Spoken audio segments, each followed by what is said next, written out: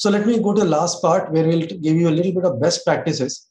Although some of these things are applicable more to the uh, faculty, researchers, or directors of institutions who are setting up innovation ecosystems, there'll be glimpses of the things which will be useful to you also. Especially when, let us say, five years down the line, you want to create your own innovation team, or maybe in your own company, or you want to select a, a partner for uh, for helping in your innovation. These some of the elements will be will come in handy for you. Okay, so so what we do is that we look at Betic, our lab, which is called Betic, we look at Betic as not the inventor, but Betic as a running partner for the inventors who are running a marathon. We look at those who do uh, uh, healthcare innovation, and especially uh, some of you who are actually already doing, thinking of doing that. We have the greatest respect for you because we feel that you are the ones who will win the gold medals. Remember Neeraj Chopra, we, we all celebrate Neeraj Chopra, but we must equally celebrate who, who are supporting them to reach that place, right? That has that doesn't happen every time that we have to also recognize that. So i'll give you glimpses of the ecosystem that builds uh, winners like what we are seeing earlier.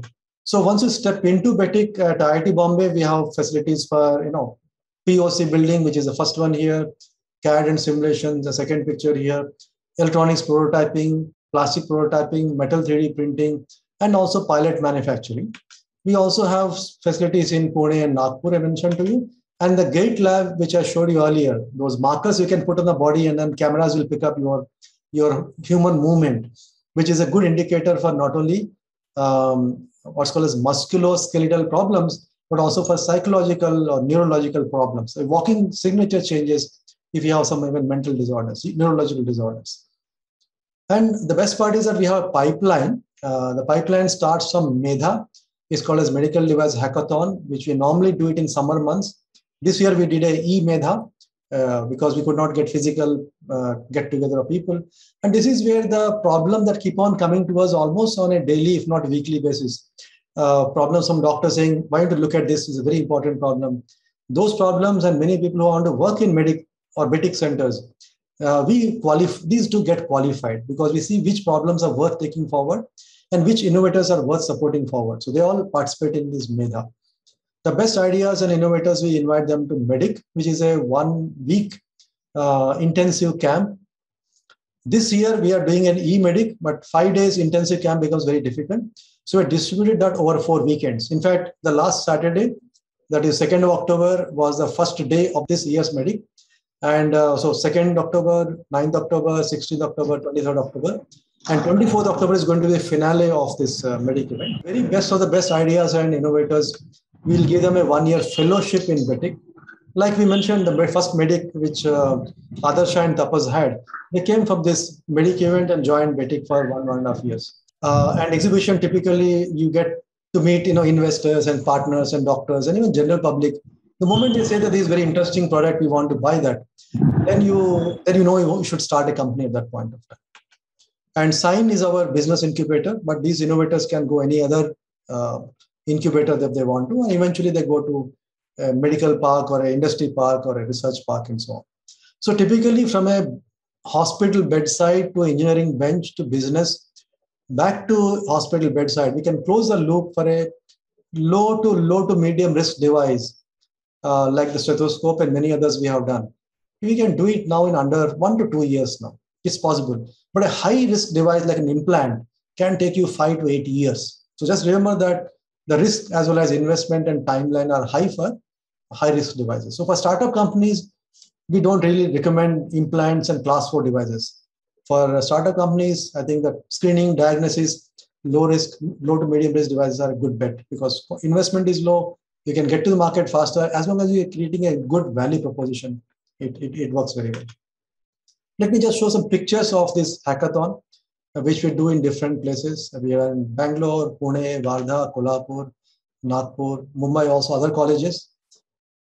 And then the medic, which is currently going on. Uh, but these are the previous medic. Uh, day one, typically we take them to hospitals. But now because we can't take them to hospital, this time we are showing them videos of hospital immersion. Day two, they start looking at brainstorming and how to create solutions. Day three, they start building the POCs.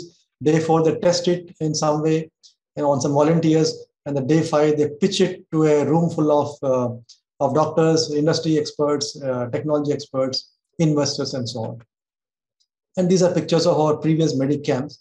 Uh, those in the front row and some with ties obviously are our jury members, and most of them are doctors uh, who can give very, very um, cutting feedback on ideas. Some doctor may say this is a great idea, and the same jury panel, one doctor will say, no, no, we are solving it in a different way, and you should do like that. And this is very good feedback in just one day. The kind of feedback that these innovators get is worth. You won't get the feedback even if you travel one one year and meet so many other doctors. It's a very intensive kind of environment. So this year we are doing an e-medic, uh, 2 to 24 October, already started. And you can watch the news in LinkedIn and other places that we'll put out those pictures. And then the winners of those medic, uh, we, we bring them as BETIC fellows for one year. And you can see the pictures where these uh, fellows are working with doctors. In every picture, you will find one BETIC engineer and one doctor. And some pictures, you also see the patients, like the baby in the middle. Uh, that was a, a, a Wadia hospital in Mumbai.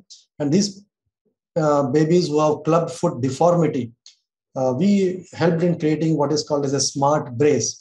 So the parents know that how to put the brace properly, and the doctors can monitor whether the parents have put the brace properly. Because if it's not done properly, the deformity cannot be corrected throughout the life. The best time to create the uh, to correct the deformity is in the first three months to one year after of the baby's birth. So all other pictures have this. Doctors, engineers, we call them as our happy pictures because it gives us a lot of joy, satisfaction, motivation to do this innovation. And then the fourth step I mentioned was to put the device in exhibition. Uh, we organize our own exhibitions at least once or twice every year, uh, which we call as MEDEX, Medical Device Expo. But we also go to other events like the India International Science Fair, where you can see our former uh, health minister, Dr. Harshvardhan, uh, coming to our booth. And by the time he came to the booth for the third time, third year, he was asking, so what is new this time, Dr. Rupesh? You know, he's our uh, CEO, SEO of our BETIC. Honorable Prime Minister had come to IIT Bombay. We had a special exhibition for him, and you can see him seeing our prosthetic leg, uh, which we have developed for like Jaipur leg, but it's a much better, much smarter uh, device made using techno- advanced technologies. Slightly higher price, but much better functionality in terms of walking gait. And the bottom right, you also see product launches happening during our exhibitions.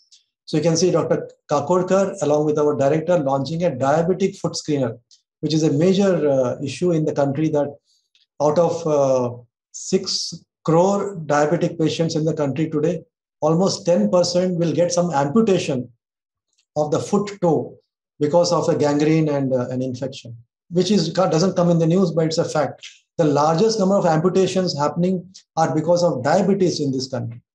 And that we want to prevent by this diabetic foot screener device. That is being launched uh, during one of these events. So today we have um, 16 products coming out of BETIC. Uh, all these are uh, spanning screening, diagnosis, monitoring devices, uh, surgical instruments, uh, various other treatment devices, rehabilitation assistive devices. Um, and these are spanning also class one, uh, low risk class to high risk class. And you can see the company names in red color. Every one of these has one a minimum funding of 50 lakh rupees average funding was 1 crore and the maximum funding some companies have gone even 4, 4 to 5 crore rupees of funding to go forward in their innovation pathway. And many companies are also coming to us. These are all small medium companies indian companies who cannot uh, set up their own r&d centers because of either cost or inability to attract the right kind of a talent. So they come to us saying that why don't you become our r&d unit? We know the market we know the doctors we can do distribution we know the specification of the product, but we do not know how to create the product and, and, and do this concept, proof of concept, prototype, and product. Why don't you do it for us? And they're so happy that they're coming back to us now, second time, third time, and so on. And this we call it as a BETIC ecosystem, where we say that we need to be able to create a overall architecture of an institution where we can take research to innovation to entrepreneurship. And for that, we need four pillars, you know, that's for, in, for your interest. And if you're looking at any institution which where you want to get help, see that they have at least as many of these as possible. So one is that do they have a, an interdisciplinary team structure? For example, BETIC, we have people who have We actually have doctors in our team member, full-time doctors or physiotherapists or biomedical engineers. We have electronics people, we have material scientists, we have mechanical people, design, software. Um, you know, all these people work together in Betic Lab, and many of them are managers, mentors, and so on. Okay, that's one critical part. Innovation culture. When you're doing innovation, you're taking a risk. When you're taking a risk, there's going to be a failure. When there's a failure, you want to learn from failure and then go and become stronger and move ahead, not get dis- you know disappointed or disheartened by failure. So, how do you handle failures which come out of risk, which is part of innovation, is a very big part of the culture which Indians are not really mastered yet. So we try to really handle that in a big way. And third is this infrastructure for you know designing, manufacturing, testing, and so on. And finally, the kind of procedures that we have. You won't believe that people have come to Betic and said that you almost run like industry. We have signed formats and records which everyone has to fill. A doctor visits us, we give them a form to, to fill saying that you'll fill and sign that. Doctors are surprised. When we go to hospital, they, they ask us to fill a form, right? First time when you go to hospital to open your file, we give a doctor to open a file in our lab. It has to be signed by the doctor and then signed by the person who is interviewing the doctor. And that becomes our first step towards problem definition. Can you imagine we have like 200 forms like that in Betic? And this is part of the ISO 13485. We are internationally recognized um, what's called as a quality management system for medical devices. And I don't think any other academic institute in the country has that. That makes us very easy for us to get permissions from hospitals or testing centers or government for doing these uh, patient trials, you know, human clinical trials. Now you can say all this sounds very difficult for an academic institute to do that. This is not the job academic institute. We are supposed to do just teaching and research, right? Who is talking about these things in which academic institution? So people actually get surprised that I even talk about these things, and they say, "How are you even finding the energy or the resources to do all this?" Like students, I would like to just mention uh, sir just passing made a remark that he has this metal 3d printing you know this is the one of the only machines in the whole country which can do titanium implants in IIT, for example, and that to 3D printed. You need seeing 3D printed uh, plastic parts. But the type of infrastructure which Ravi is saying is it really takes huge, huge amount of effort and you know like every pillar what you see has been you know very very painstakingly built.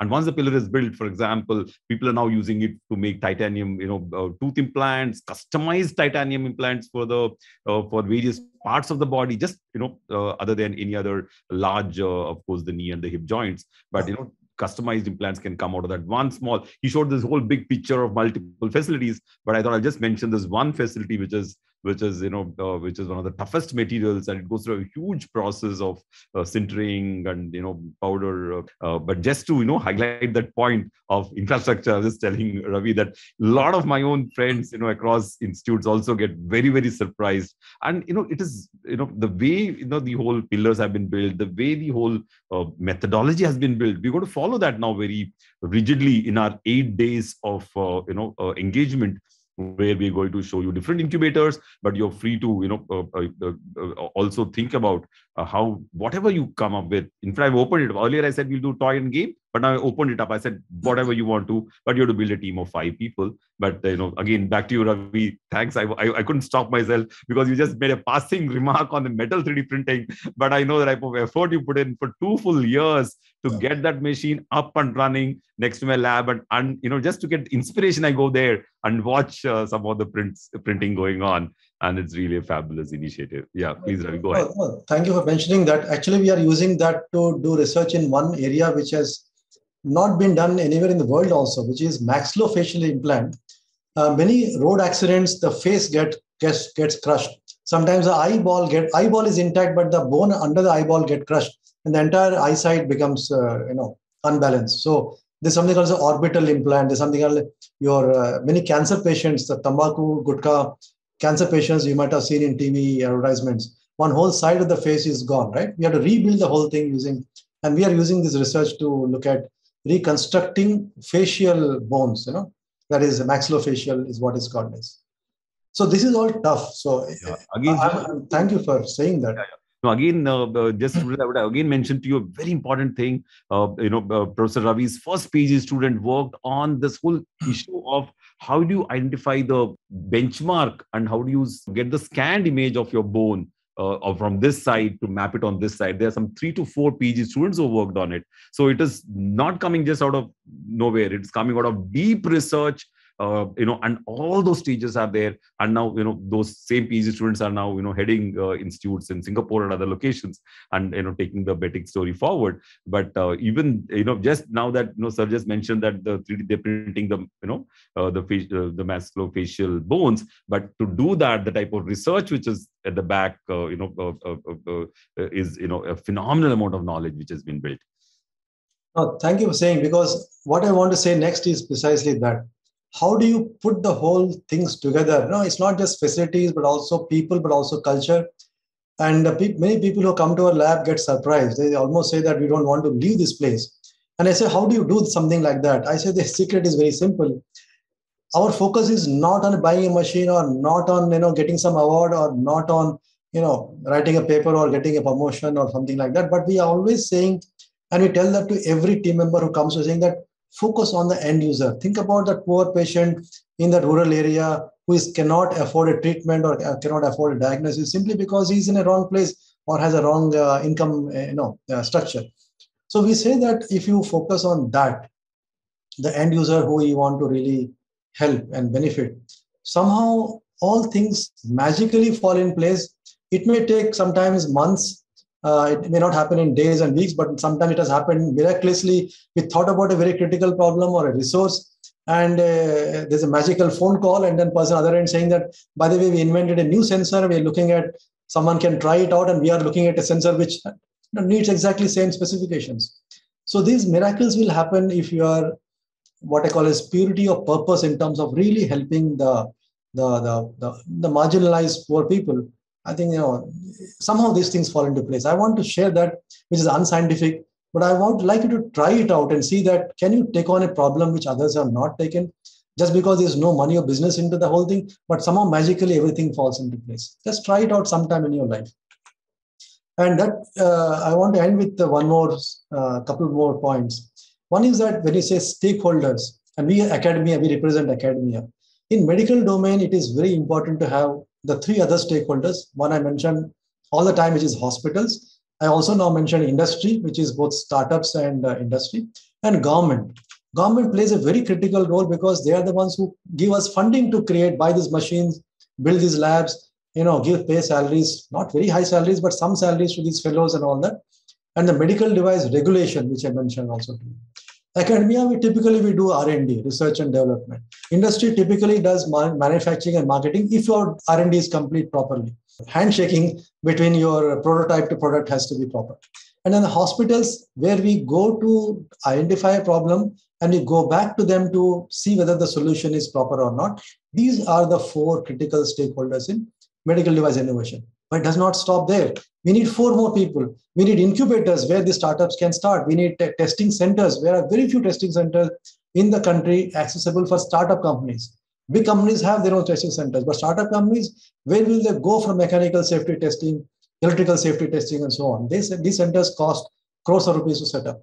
We need investors to put money in this, uh, you know, in this area. Investors are putting money in B2B and e-commerce and, and fintech and everything else but healthcare, it is still, it is slowly increasing, but it's still not there. And finally, even media has to play an important role. Uh, they have to highlight stories of this innovation, how they're making a difference. It is happening again. Now it is happening, but in the beginning, five years back, healthcare startups were nowhere there in this whole ecosystem. But now we are seeing very good uh, traction in all the four, all the eight fronts. And last, I would like to share with you how do you decide what you want to do in life if you decide to do entrepreneurship, is it right for you or not? That is the first question. If you want to really do entrepreneurship and create your own startup company, what problem you should solve or what area you should work on, that's one decision point. And once you decide to do a startup in a particular area, let's say healthcare startup or a screening device for cancer, anything else you want to look at, you decided that, how do you select the team members for that? Okay, so this slide will answer your these questions. This is loosely borrowed from a Japanese concept called Ikigai, I-K-I-G-A-I, in case you want to look it up. But here is my version of that same Japanese concept. So it's based upon answering four questions to yourself. Close your eyes, or go sit in some quiet place. Think about what you really love to do. Think about what you are good at doing. Think about what will get you some money because finally life cannot be run on charity. You have to earn some money. And finally, what the world needs. Okay, these four things. If you look at these four questions and you want to also look at how do you know the answer to the question, I'm giving you criteria. You know that you love to do something if you forget food and sleep.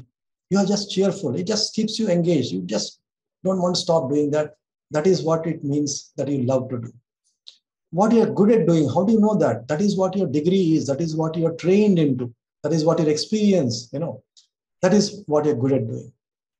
What you can get paid for is your salary coming from that, and someone is giving a check or, or transferring money to bank account. And what the world needs is give you some contentment. The moment you do something what the world needs, you feel little happy inside. Okay. Now let me cross these and get you four more sectors. What you love to do and what you're good at doing is what is called as passion. And just put a picture so that you can connect with that in your mind. What you are trained to doing, what you're good at doing, and what where your salary comes from is a profession. And here is one great doctor uh, from South India. Again, and what the world needs and, and, uh, and what he can be paid for. The same doctor teaches biology to his uh, other kids in his building in his uh, spare time or weekends. And the parents don't mind giving him some money or maybe taking him out on dinner, which is money in some form. That is called as vocation. And here is one more example of that, who made vocation into his full time job. And what the world needs and what he loved to do is what is called as mission. The trick in life is to find something which connects all the four sides.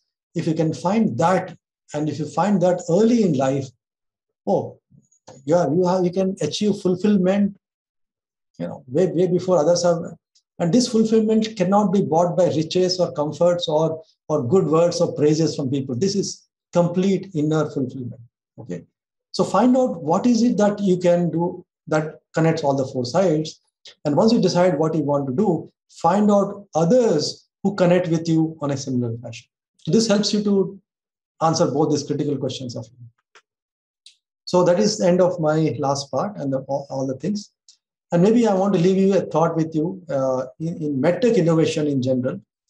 What do you think is the biggest bottleneck or a challenge which preventing the success stories to coming out? Is it that uh, we have an academic mindset uh, by academic, I mean, as students, you just want to learn something, earn your degree, get some high marks, and get a salaried job. Is it the academic mindset from student side? And teachers just want to simply teach what is in textbooks.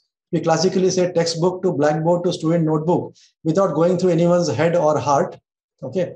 Or uh, is it that? Or is it that safety testing is an issue? Or within teams, there are conflicts between the founders? Is it that facilities are there? Maybe manufacturing equipment facilities are not there? or finance is not there i mean or anything else that you feel that important i just want to leave you with this question and uh, we can see what answers you give and i'll leave you with one last slide about uh, this is the contact information if you want to look up betic.org you can look at it um, so that is the ISO certificate for our lab. There is a book called Medical Device Innovation where we have written stories of these 16 startups but book is right now out of print, although the, the e-version is there on Amazon. The hard copy is sold out. We are writing the second edition of that. Hopefully, early next year it will come out.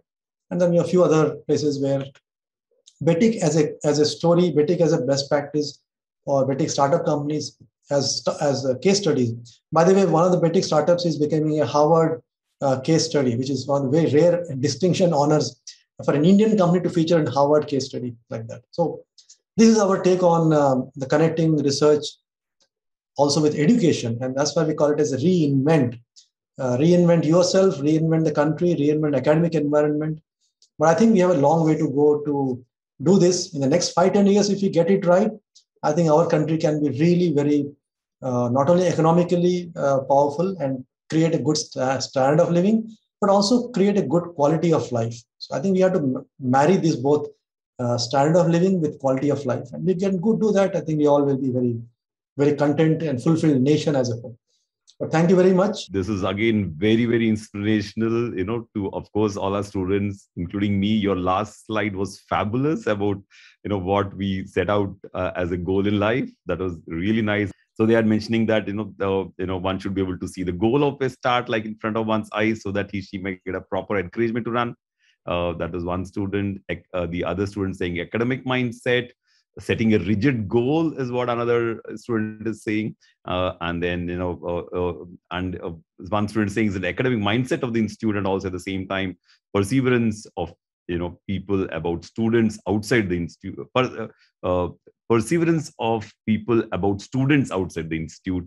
So they think that the students in the i think know, i think the person um, they might have meant also perception of people about students. Yeah, yeah, not perseverance. Could be perception. Atharva, did you mean perception? Yes, yes, yes, yes, a perception. Uh, Otherwise, a student from uh, Anant National University, they hmm. also have some very, very interesting projects going on in the innovation studio. So now, Atharva, we're no longer doing innovation, we are doing entrepreneurship, right? yes, sir.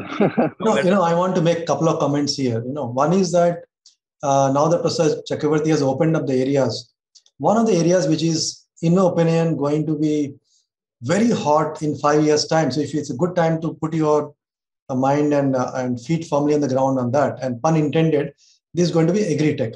There are a lot of people now. I'm seeing that very good IT engineers. They're they're thanks to pandemic and thanks to this online sessions like this. They are now, you know, can you believe in cities like Bombay and Bangalore and Pune and, and other cities, the the house prices and rental have come down, which means the people are going back to their hometowns when they go back to hometowns, they all have their independent houses and kitchen gardens. They are looking at the possibility of creating their own kitchen gardens, everyone. You know, agri-tech in general and, and uh, agri-tech for professionals, kitchen gardens in particular, are such a hot area that I think if you, if you put technology into that, that is one, one, one, one great thing. That's one point I want to tell you. The second point I would like to add that, yes, the perception about people in general uh, you know, it used to be parents first. Parents would say, "Why are you doing innovation entrepreneurship? Get a salary job, play safe, get married." You know, things like that. Now I can see many parents, and I'm not talking about IT students. Many other parents are saying, "Okay, one year you do innovation entrepreneurship, we will not come in the way. If you want even five lakh rupees, we'll give you, you know, for your uh, basic running costs. If you succeed, no one looking back. Everyone is happy about it. If you fail in entrepreneurship, believe me, the kind of things that you that you learn in that one year of failure the kind of confidence that you get the kind of capability that you build makes you enormously valuable to the next company that hires you. So there's no failure in entrepreneurship. You either succeed or you learn right? And that, that is now being understood even by parents. So they are also encouraging the children to do that. I want to add one third point. You are from IIT Hyderabad you are from IIT Bombay and so on. But believe me out of the 16 startup companies that i showcase you 70% of the founders, okay, are not from IITs. They are not from middle class families. They are from low middle class or poor families. Okay, small towns, rural areas. The kind of passion, the perseverance. Now I use the word perseverance. They stick to the problem. They, they understand the problem. They see the problem being faced by their own maybe family or neighbors or their local community. They want to solve it no matter what. That, that kind of commitment actually takes them over multiple hurdles, including the hurdle of communication. They don't even know how to talk properly. But the moment they start speaking, everyone in the room knows that this guy is someone to bet on. You know, doesn't matter whether they can speak or not. The passion shines through in their eyes and their gestures and so on. just remember that when you pick partners, pick partners who are themselves going to be committed to the problem the goalpost is not a startup company or money or whatever or a unicorn which is fashionable these days but to solve a problem a big problem for a large number of people everything else will fall into place so I, I wanted to ask if Betic just deals with the physical healthcare of a person or it also deals with the mental healthcare because that is again a some different domain that you will touch so Betic does not deal with this or that. Betic deals with uh, doctors and innovators who want to solve a problem. So we have seen we have done head to toe. So there was a recent company who came and said that can you develop a, a deep brain um, deep brain stimulator or deep brain um, some device. Okay. Now we have no clue about deep brain or no clue about it, but then the company also brought uh, connections to the neurologists, and we have our own connections in all the hospitals. So we went around saying, "Hey, anyone is interested in that problem?" So we got that, and then we have to also need someone who will work on the problem for next two three years. So we reached out. So through these MEDHA hackathons and Medicamps, we get people right, and some someone gets interested in the in the brain mm-hmm. problems, brain cancer problems. Mm-hmm. So we our our always our goal is to build a team of a doctor and an industry in this case and an innovator who want to solve a problem. For us, it does not matter what problem we solve. We are not particularly mm-hmm. into, we are domain agnostic, which means that we'll solve a problem in any domain as long as uh, problem is good enough and the team is there, value proposition is there, and it is possible to put it in the market in the next two to three years. You saw my four criteria, right? Yeah, if yeah. fulfills that, we are we are fine with that. Yeah. In fact, again, it is the you know commitment and the perseverance, and of course the passion mm-hmm. which you come in and you you're ready to commit to work. When you're ready when you're ready to work, things happen. You know, like and there is there's a possibility in every problem. You know, we see a solution we've learned all the dimensions uh, of how these things happen uh, at multiple levels at a personality level. You know you talked about you know like uh, uh, uh, how the how they need to commit themselves. And at a uh, at a methodology level we have the four ds uh, and you know it, it's really wonderful. And thank you so much ravi for uh, this lecture. Fantastic. No thank you chakravarti for inviting first of all. All the students everyone in the room good luck to you in finding your mission and may you succeed in that even if some good news that comes out of your life of this whole thing we are always happy to hear that's our true currency of teachers it's not a salary, but what our students do is what uh, makes us really rich in that sense. Thank you very much. Good day to all of you.